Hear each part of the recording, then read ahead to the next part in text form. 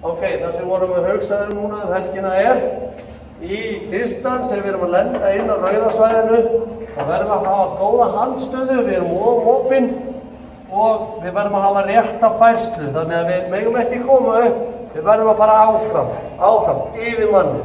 Mjög mikilvægt, við fórum inn í því, gekk mjög illa til að byrja með, en ágæðlega núna á síðan stegum. Svo er það með æfinguna núna um helgina. Hvernig ætla maður að vera betri eftir helgina heldur um að var fyrir helgina? Þannig að við verðum að fara í gegnum tæknilega atriði. Við verðum að eyða aukarhefingunum. Það er alltaf mikið aukarhefingum áður við förum í aðgerðir. Við verðum að fara í beina tækni, hvort sem það er högg eða spark. Ef það er högg það verður að vera bein. Dómar verður að sjá þessa beinu lína því að hann sér ok, þetta er hreint högg og þá dæmi ég stiga það. Færslan hún verður að vera mjög lifandi og góð, af því fótavinnan þarf að vera mjög lifandi. Hraði, ef það er ekki slökun, ef það er ekki slökun, þá er hraðin döður. Þannig að við verðum að slaka meðan við verðum að sparra og við þurfum að starta hraða.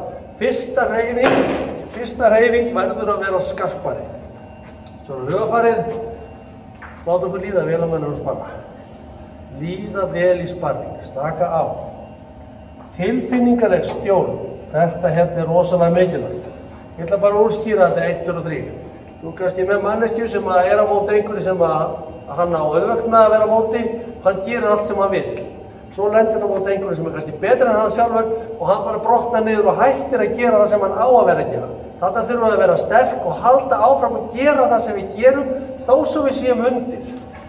All Beintækt, það var lélegt fyrst sko, startar að strax var lélegt, svo lagaðast það líka, svo fólk við fílu kalla sko. Er það ok, svo erum við með þetta hérna.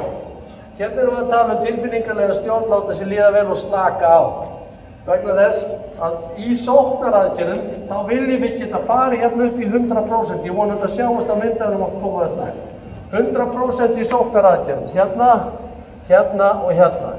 Og slaka á að milli.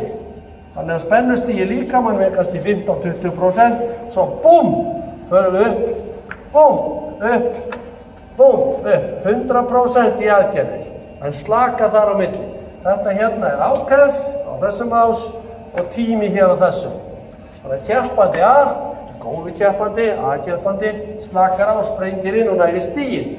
Kjærpandi B kemur spennturinn, og er hérna kannski í 40-50% spennu hugafarslega og vöðvalega og þar að leiðandi vegna þess að hann er spenntur, hann reynir þess og getur, þá næra sér ekki upp í nema kannski 75% kraft þegar hann er að sprengja inn og hann þreytist og krafturinn dvínar hann fyrir niður. Þannig að topparnir hjá þeim sem er spenntur eru miklu lærri heldur topparnir hjá þeim sem hann er afslappaður. Alveg klart mál hérna, ok? Föstudagsæfingin hérna, við vorum að æfa föstudaginn og það gekk ekki nógu vel, þannig að hópur gekk 6,0 í engun er ekki gott. Svo lögðardagsæfingarna núna, fyrra æfingin var mjög góð, setjaæfingin var bara mjög góð líka, þannig að fyrir fyrra æfingin og fekk hópun 8,5 í engun. Ég myndi segja að við höfum alveg verið svona 8,6 núna, fyrra æfingin, sko. Það var mjög fínt. En þetta er eitthvað sem við þurfum að hugsa, sko vegna þess að þú ert að æfa og þú æfir kannski með félaginu ok, þú getur átt slæma æfingu og verður kannski með 6 í einhver fyrir æfinguna þína en innan landslýsæfingu þá kemur upp 8,5 eða herra það er alveg að reyna. Alright, fyrsta æfingi mín hérna, með hópin núna á, á, á föstudaginn var þannig hópin var mjög lélugur til að byrja með og ég byrjaði að öskra og garga hérna hérna Ég byrjaði að öskra og garga og hópurinn kom þá með aðeins upp. Sko, þið sem verða að æfa, fyrir að ég er alltaf að segja við sjálf ykkur, þjálfari á ekkert að þurfa að garga á mig til þess að ég geri 100%. Því að ég að vera tilbúin til að gera það sjálf. Á ekki að þurfa að þjálfara til þess að reyka ykkur áfram. Þjálfarna á frekar að vera að slaka ykkur niður sko, vegna þess að því keirir svo hratt og fast og mikið.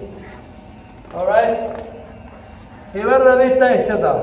Allt þetta blessaða fólk sem verður keppa, ég sem þjálfari Ég er ekkert annað en aukarhundur. Ég er bara aukarhundur. Ég get leitt og hjálpað, en ég er ekki þunga miðan í því sem þið eru að gera. Þið eru það sjálf. Þannig að það sem að þið eru að hugsa um er að þið eru það aðal málið. Þið sjálf eru aða máli þegar þið eru að æfa. Þannig að ég, ég get hjálpað með því að leiða inn og svo framvegis, segja eitthvað góða luti, koma með æfingar, en þið eru á móttin að keppa og þið eru að æfa þannig að þið verðið að vera 100% sjálf, ég er auka hlutur, ok?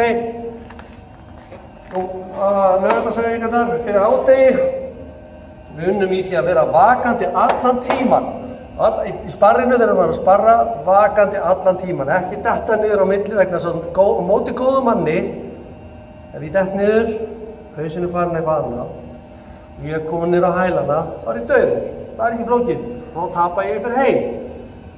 Þannig að það gekk mjög vel, við þurfum að vera alltaf tilbúin eftir sótt anstæðingsins. Þannig að ef þú sækir á mig, kjöf með eitthvað, þá verð ég að vera tilbúin að refsa þig strax á eftir vegna þess að það eru svo mikið eigðum hjá flestin sem kom inn með sóknina, bam, bam, og svo koma þið tilbaka í þægilegheitin og eru kannski að laga gallansinn, þá eru að taka. Svo er það þetta, lokuð handstæðin á ég, við erum nærri hvort öðrum, þá verð ég að loka. Ég verð að setja henduna fyrir og axlirna klárar, þannig að sé ekki bara allt galopið. Eftir hálftegi vorum við vinnaðast ekki yfir sín, Eftir háttegi horfa mannin, skoða, ok, skotskífan, er það hausinn, er það síðan, að ég ætla að sópa, eða hvað ætla ég að gera. Við erum með framann og við erum með hlýðar, við erum með, við erum með líkamann, við erum með fætur, yfirsýn, skoða, fjarlæð og svo framvegis. Og reyna nýja hluti. Það er alltaf tíliti til þess að reyna nýja hluti þegar við erum að æfa. En það er ekki tíliti til að reyna nýja hluti þegar við erum að kjappa. Skiljiði munum á þessu. Þegar þið eru að æfa, þá eru þið safe þá getur þið gert það sem þið viljið gerir þið meira heldur en minna. En þegar þið er að keppa, gerir þið þá minna heldur en meira en hafið það quality. Skiljið munn á þessu. Hafa þetta 100%. Allir með? Alright, thank you.